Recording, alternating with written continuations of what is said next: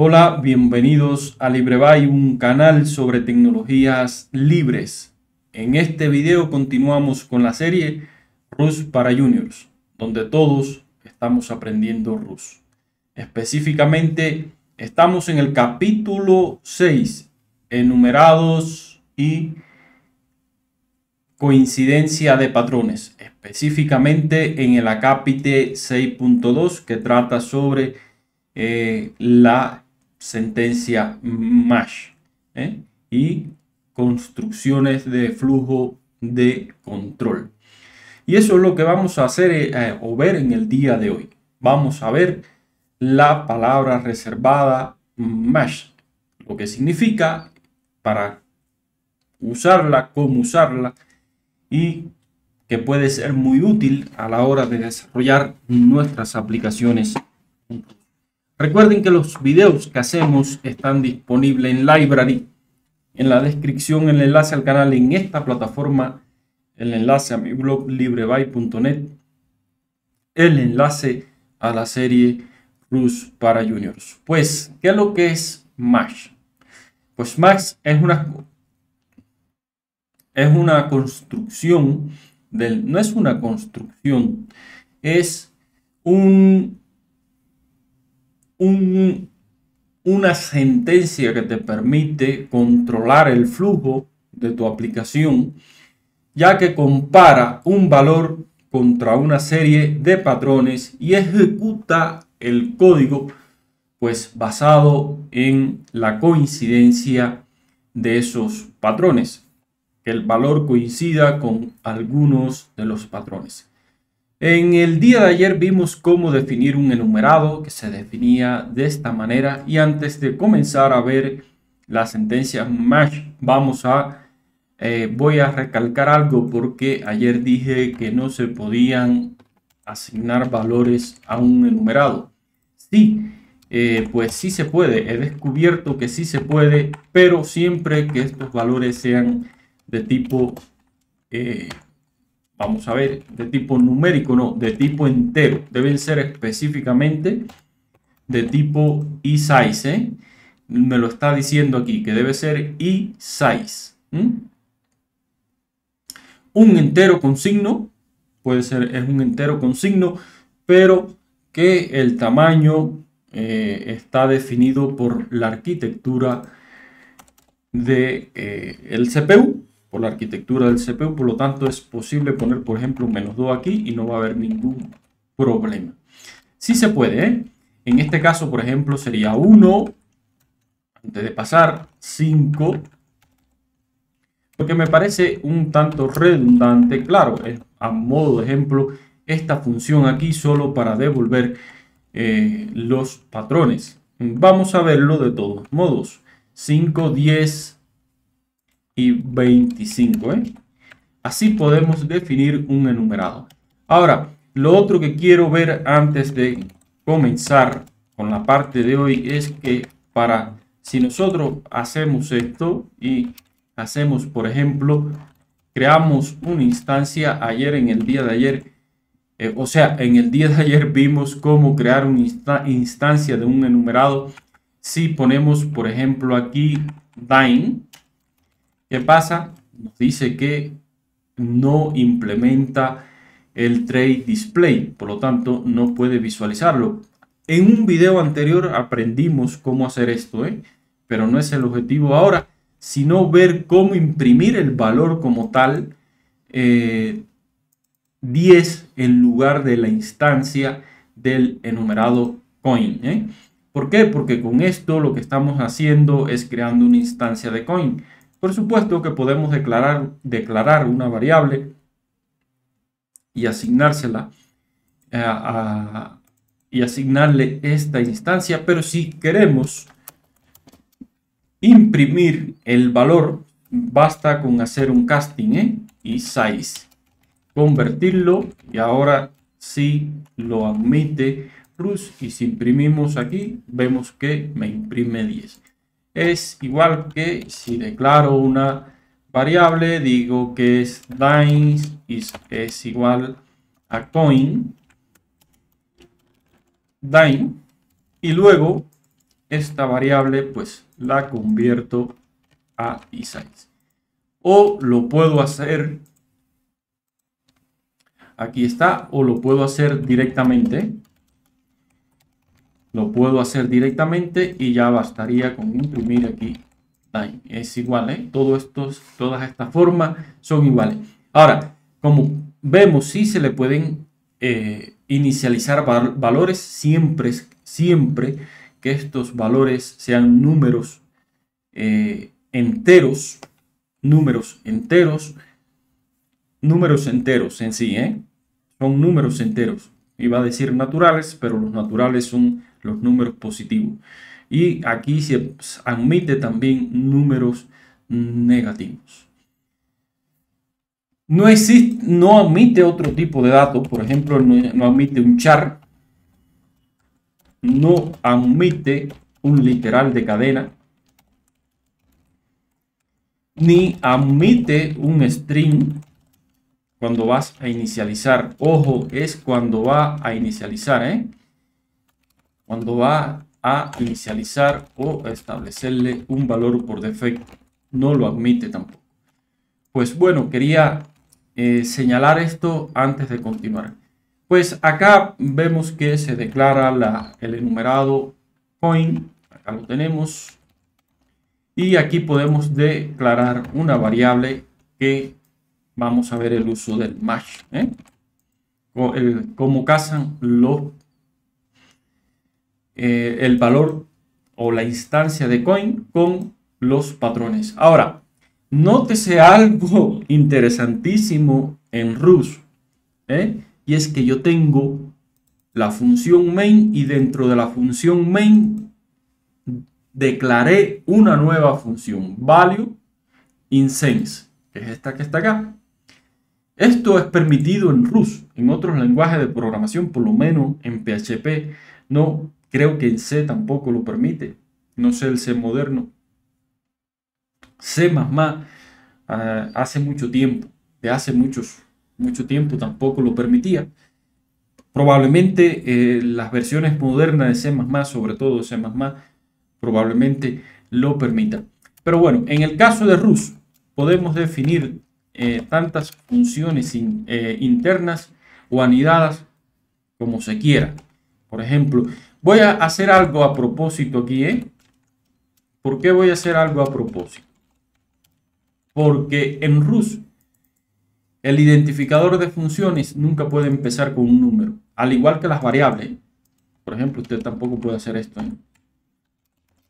Let 1 v diciendo que es una variable y que le va a asignar un literal, 1v, por ejemplo. No es posible en RUS. El identificador te lo está diciendo. ¿eh? Mismo te lo está diciendo. No puede comenzar con un número tanto para variables como para funciones. Por lo tanto, yo puedo definir aquí una función y adentro pues puedo definir otra función que se llame f2. Adentro puedo definir otra función que se llame f3. Puedo definir otra función que se llame F4 y así funciones anidadas. ¿eh? Esto está muy interesante, pero muy interesante en ruso. Puedo tener funciones anidadas. Pues acá ya tengo una función que ¿qué es lo que me va a hacer? Pues lo que me va a hacer es hacer un casamiento de patrones. ¿eh? Ahora, coin es una instancia o es de tipo coin. el argumento coin es de tipo coin, ¿eh? del enumerado coin. Y pues el valor que paso, nótese que aquí no se pasa por referencia. No se pasa por referencia. Por lo tanto, eh, si yo tengo... Eh, no se pasa por referencia, por lo tanto, si yo creo, creo una instancia, algo así como let, eh, let vamos a decir let dine igual a coin dime y entonces pues si yo llamo un print ln para ver para ver a la función value, claro, aquí vamos a ver, un poquito se me fue acá, ok, aquí,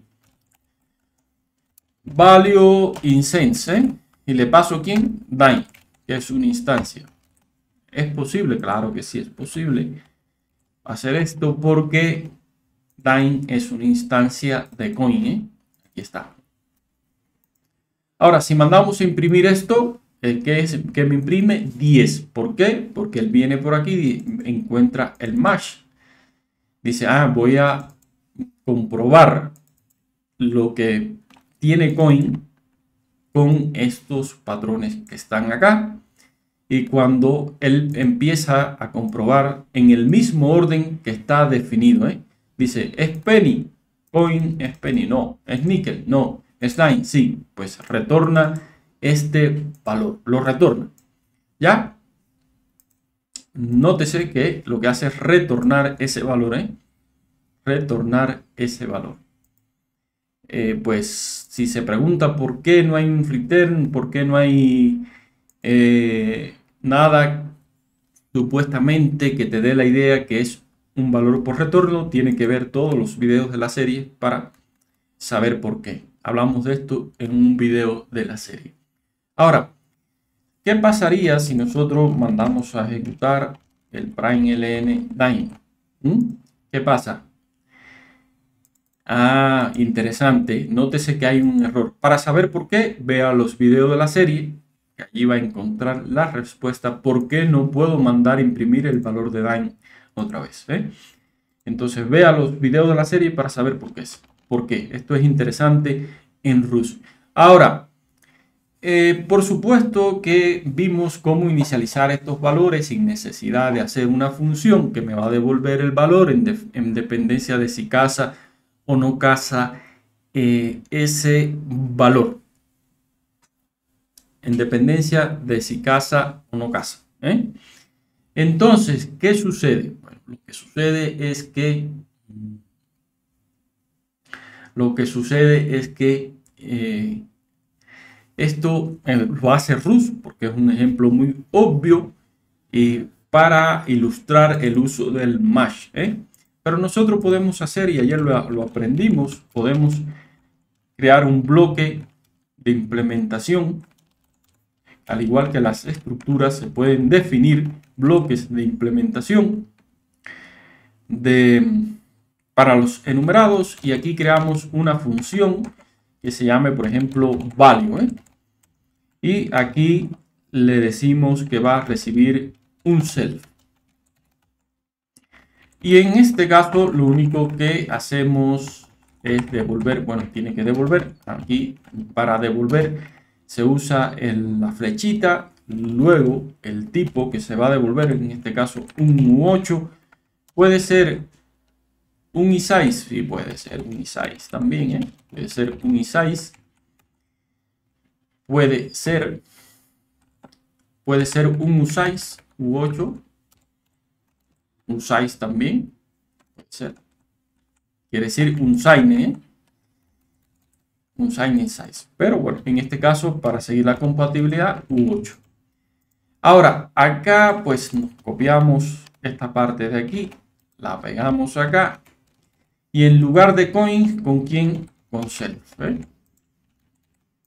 Self. Ahora, eliminamos esta parte de aquí y bastaría con decir, por ejemplo, dime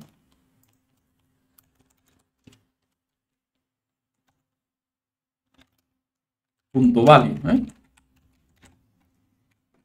punto value. Y aquí está el 10. ¿Podemos hacer un print ln dime value de nuevo? Vamos a ver qué pasa. No, no podemos hacer. ¿eh? Como les dije, vea todos los videos de la serie para saber por qué no es posible. Y qué tendríamos que hacer para que este segundo print ln funcione pues ya vemos la importancia del Mash. ¿eh? Vamos a seguir por acá. Dice que eh, si queremos entonces incluir, esto es súper interesante con, con Rus. Rus moderniza estos conceptos enumerados.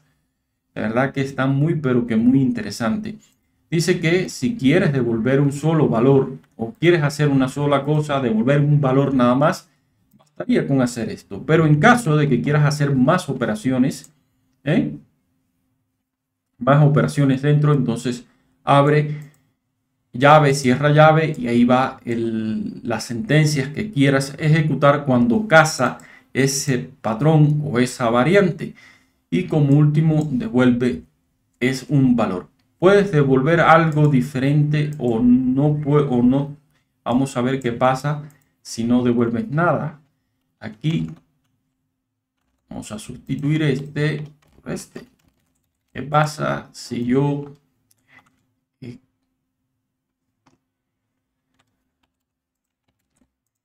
me da error, ¿verdad? ¿Por qué? Porque debo de... Ah, claro, claro. Pero incluso si debo devolver, porque si los demás devuelven, pues debe devolver, ¿eh? Debe devolver un valor porque me lo está diciendo. Pero si yo mando a imprimir esto, por ejemplo, y ahora digo en lugar de mm, digo penny, aquí vamos a eliminar esta parte, digo, y aquí le pongo ok, vamos a ver qué pasa, Mandamos a ejecutar. Y nótese el, el Lucky, Lucky Penny. ¿eh? lo imprime, ejecuta todo lo que está dentro de estas llaves. Bueno, pues seguimos por acá. Vemos que sí, ahora es posible también. Eso lo aprendimos en el día de ayer. Esto es solo, ni voy a hacer el ejemplo. Lo aprendimos en el día de ayer que se le puede asignar valores también y ya así aquí de esta forma acepta cualquier valor ¿eh? acepta cualquier valor a los enumerados se le puede asociar un valor a esos enumerados pero hay que hacerlo de esta forma para que acepte cualquier valor ya lo vimos anteriormente en el video de ayer lo vimos y de igual manera mm, pues habría que incluir también aquí el, el argumento que se recibe en, el Mash para que, eh, para que funcione. Si no lo incluye, pues le va a dar un error. Le va a dar un error. Ahora, uno una de, las, de los matching más interesantes y que va a haber mucho es cuando se usa el son, ¿eh? digo el option, que lo vimos ayer también. Y aquí tenemos una función que recibe eh, un option de tipo eh, i32 con el genérico i32 y aquí vemos cómo x casa con non o con son y el valor que recibe. Algo similar aquí ¿eh? similar aquí. Y entonces lo que devuelve en caso de non devuelve un non. En caso de eh, son pues devuelve ese valor son y más uno son y más uno pues vamos a probar. Aquí nótese el, el tipo que devuelve también. ¿eh? Ah, bueno, acá nos explica y vamos a probar esto. Vamos a probar qué pasa. Vamos a probarlo aquí. No quiero entrar en muchos detalles. Son acá. Five. Non son 5 plus 1. 6. Eh, claro, por supuesto que si imprime aquí, por ejemplo, non, non va a casar con non. Eh, aquí lo que define es un 5. Eh. Hablamos de el, del el, enumerado option. cada vez que pongo ahí el enumerado option en el día de ayer lo hablamos. Entonces, ¿qué imprimirá o qué va a imprimir? Pues si hago esto, print ln, acá con 6, ¿qué va a imprimir? Pues dice que no puede imprimir porque lo igual no implementa el stdftm display. Por lo tanto, habría que decir as que devuelve as i32 pudiera ser. Vamos a ver si no, ¿verdad? No lo devuelve. No lo devuelve porque esto solo es para los tipos primitivos. Para los tipos primitivos, por lo tanto, no lo devuelve. En este caso, eh, quizás habría que ver cómo convertir esto a eh, un entero. Por el momento, pues no, eh, no sabemos cómo hacerlo. Aprenderemos más adelante. O no recuerdo bien si lo vimos en el día de ayer. La verdad es que no recuerdo bien si lo vimos en el día de ayer. Podemos buscar aquí a ver si...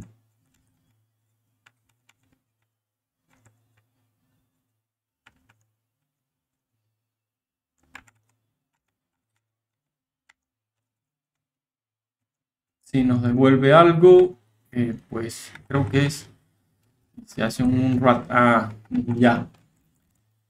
Un wrap. Con esto, eh, pues lo, que pasa es que aquí, como puede ver, ya 6, imprime 6. ¿Eh?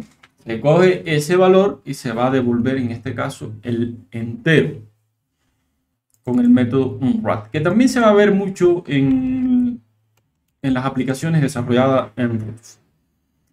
Pues aquí aplica también para el mash para eh, para el enumerado 8. Voy a entrar en muchos detalles. Aquí está también. Ahora, los, match, matches son exhaustivos, que quiere decir que se tienen que cubrir todas las opciones. Si usted hace algo como esto, Rus le va a dar un error porque va a decir no están cubiertas todas las variantes, todas las opciones. Por lo tanto, el compilador ya nos lo está diciendo y no nos va a permitir eh, crear nuestro binario. Pero hay una solución y para ello es usar el other. Usar el other. Aquí lo podemos ver. ¿eh? Usar el other. Usamos acá el other. Y cuando no casa, como es este caso, ¿qué va a hacer? Acá vamos a modificar esta función y lo único que vamos a imprimir ln le vamos a poner other is. Space. Aquí lo tengo. Entonces si yo mando a ejecutar esto que creen que imprima ¿Eh? vamos a ver.